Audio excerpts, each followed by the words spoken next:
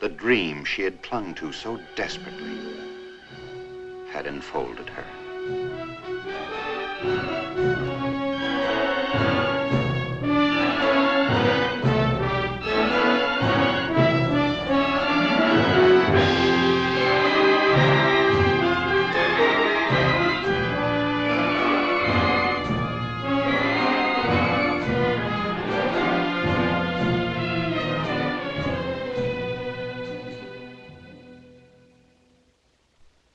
I can't go on with the scene. I'm too happy.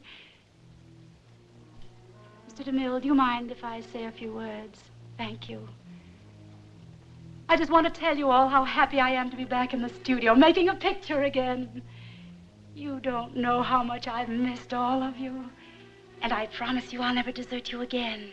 Because after Salome, we'll make another picture and another picture. You see, this is my life.